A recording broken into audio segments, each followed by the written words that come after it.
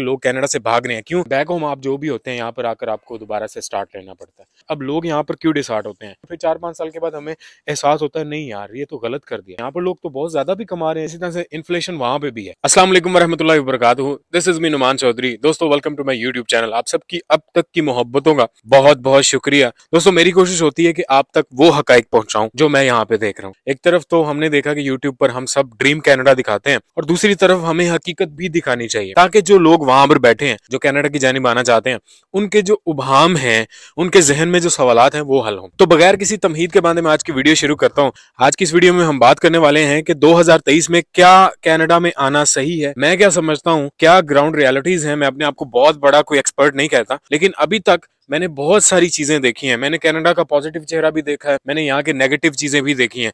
तो मैं देखना चाहता हूँ कि ग्रॉस में क्या होता है और नेट में हमारे पास क्या बेनिफिट आता है, यहाँ हमें नुकसान होता है। अगर यहाँ पर हम आते हैं, क्योंकि इस चीज़ के हवाले से मुझे कमेंट्स भी मसूल हुए और इसके अलावा इंस्टाग्राम पे मुझे बहुत सारे मैसेजेस भी आए। तो आज की इस वीडियो को शुरू करते हैं। अगर आपने अभी तक मेरा यूट्यूब चैनल सब्सक्राइब नहीं किया तो इसको सब्सक्राइब ज़रूर कीजिएगा। दोस्तों, अभी तक मेरा कैनेडा में जो सफ़र है, वो एक साल और चार महीना हो चुके हैं। मैं अभी भी स्ट्रगलिंग जोन में स्ट्रगल कर रहा हूँ, ठीक है? और अपनी लाइफ को बेहतर करने के लिए और यहाँ पर अपने आप को सस्टेन करने के लिए जो स्टेप्स हैं, मुझे लगते हैं वो मैं ले रहा हूँ। तो इसके हवाले से मैंने देखा कि अब जो है ना, बहुत सारी मैंने वीडियोज़ देखी मेरे सामने से गुजरी कि पीपल आर लिविंग कैनेडा लोगों को ये बताया जा रहा है कि लोग कनाडा से भाग रहे हैं। क्यों? क्योंकि यहाँ पर टैक्सेस बहुत हाई हैं, यहाँ पर इन्फ्लेशन बहुत है, यहाँ पर रहन सहन मुश्किल होता जा रहा है, यहाँ पर वेदर बहुत ज़्यादा एक्सट्रीम है। मेरे बैकग्राउंड में भी आप देख रहे हैं कि बर्फ़ है।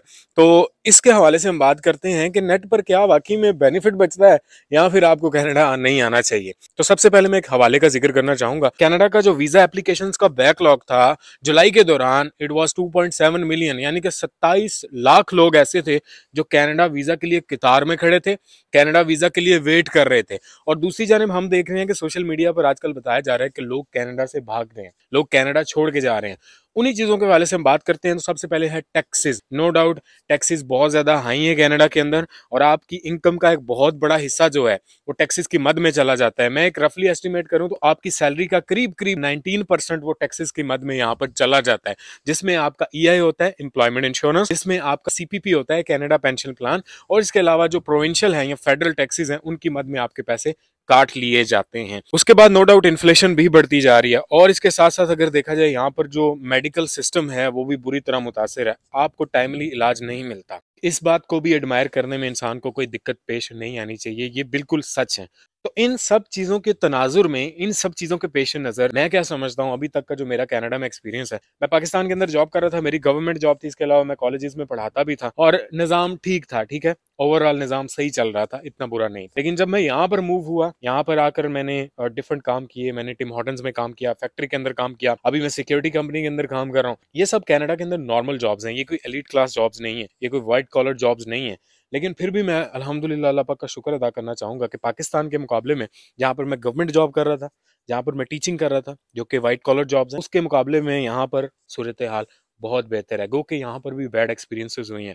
मेरी हेल्थ का इशू है हॉस्पिटल में मैं गया, वहाँ पर मुझे बहुत ज़्यादा दुशारी का सामना करना पड़ा। लेकिन फिर भी जब इंसान ओवरऑल बात करता है ना तो सूरत हाल बेहतर हो जाती है। अब देखें, यहाँ पर टैक्सेस काटे जाते हैं। मैंने बात की ईआई की, मैंने बात की सी की। अब सी क्या है? कैनेडा पेंशन प्लान जब आप बूढ़े हो जाएँगे पेंशन के करीब पहुँच जाएँगे तो वो आपका पैसा आपको पेंशन की मद में मिलेगा। फिर आ जाता है ई आई एम्प्लॉयमेंट इंश्योरेंस ये पैसे हर महीने आपकी सैलरी से काटे जाते हैं। अगर आप कनाडा के अंदर काम कर रहे हैं और आप अपनी जॉब लूज कर देते हैं, ठीक है? आपको काम नहीं मिल रहा। आपने लेस से एक साल के लिए ई आई भरा हुआ है। तो आप गवर्नमेंट को बोलें कि भाई मुझे जॉब नहीं मिल रही। गवर्नमेंट आपको आपकी एम्प्लॉयमेंट इंश्योरेंस का पे करेगी। आपको मंथली जो है, वो लगभग सिक्सटी टू सेवेंटी परसेंट या समटाइम इससे भी ज़्यादा होता है, जो आपकी टोटल इनकम होती है मंथली ठीक है? जो आप काम कर रहे होते हैं उसके दौरान। वो आपको गवर्नमेंट आपको पे बैक करती है। आपका पैसा वो। फिर आ जाते हैं टैक्सेस अब देखें, जहाँ पर आप टैक्सेस देते हैं ना, वहाँ पर आसाइशें भी होती हैं। मैं अगर इंडिया पाकिस्तान की बात करूँ, वहाँ पर टैक्सेस ऐसा नहीं है। लोग टैक्सेस नहीं देते। वहाँ पर सहूलियात क्या हैं?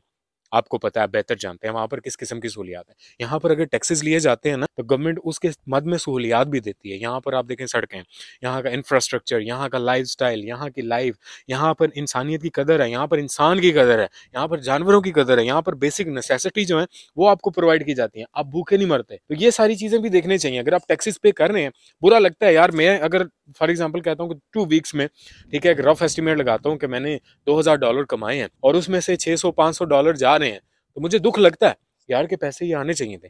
लेकिन ये देखें ना कि उनकी मद में हमें बेनिफिट क्या मिल रहा है? फिर आ जाता है महँगाई। देखें, पूरी दुनिया में महँगाई है।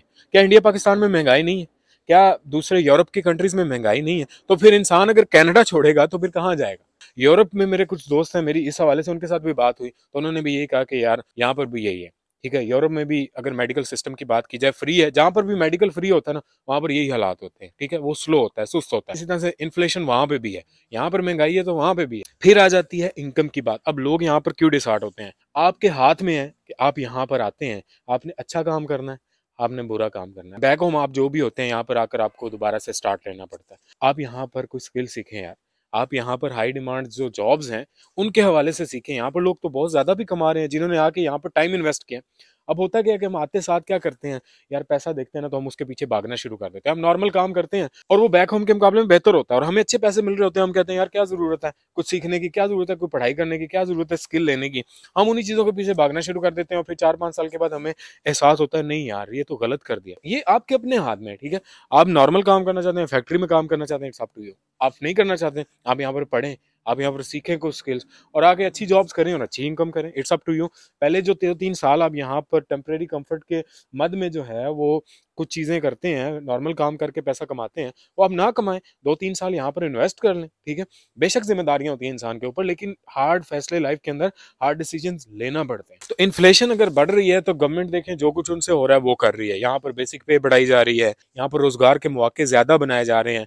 लेकिन लोग यहाँ पर हार्ड काम करते हैं, क्योंकि इन्फ्लेशन बढ़ रही है। ठीक है, पाँच पाँच छः छः दिन करते हैं। लेकिन इसके पीछे मैं आपको टू बी ऑनेस्ट बताऊँ मल्टीपल फैक्टर्स हैं। एक तो पीछे घर वालों की उम्मीदें फैमिली की उम्मीदें, रिश्तेदारों की उम्मीदें और हर दूसरे दिन कोई ना कोई पीछे से फ़ोन करके कहता है, यार, हमें पैसे चाहिए। अब यहाँ पर कोई मशीन तो नहीं लगी। तो ये चीज़ होगी, फिर उसके बाद देखें, यहाँ पर भी खर्चे हैं आपके, ठीक है? नो डाउट लेकिन ये जो पीछे वाले भी खर्चे हैं ना, ये भी आपने चलाने हैं, चार चार, पाँच पाँच, घर एक बंदा चलाना शुरू कर देता है तो फिर तो बंदा रोएगा ही।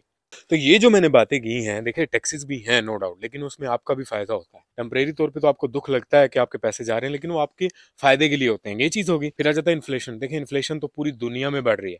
अगर कनाडा आप छोड़ के जाएँगे या यहाँ पर आना चाह रहे हैं, नहीं आएँगे कि जी, यहाँ पे हालात खराब है ट्वेंटी ट्वेंटी थ्री में नहीं आना, क्योंकि यहाँ पे महँगाई है तो दुनिया में हर तरफ़ महँगाई बढ़ रही है। तो फिर आप कहाँ जाएँगे? ठीक है, जहाँ पर आप बैठे हुए हैं, क्या वहाँ पर महँगाई नहीं है?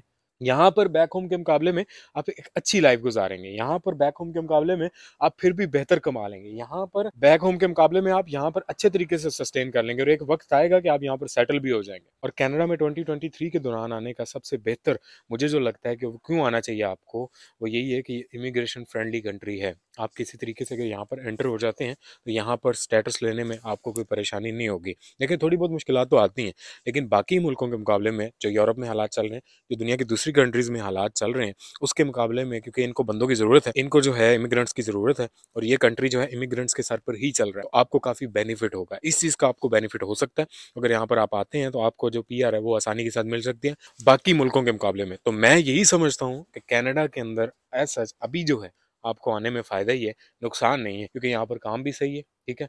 बहुत सारे मुल्कों के मुकाबले में, क्योंकि यहाँ वहाँ पर तो क्राउड बहुत हो चुके हैं, यहाँ पर तो आबादी इतनी नहीं है। काम भी ठीक है इमिग्रेशन में आपको आसानी हो जाती है, आपको स्टेटस यहाँ पर मिलना आसान हो जाता है, बाकी मुल्कों के मुकाबले में, जहाँ पर इमिग्रेशन काफ़ी टफ है। तो मेरी नज़र में तो Canada is a better country बाकी मैंने तमाम तर चीज़ें आपके सामने रख दी हैं, वीडियो अच्छी लगी तो मेरा यूट्यूब चैनल ज़रूर सब्सक्राइब कीजिएगा थैंक यू सो मच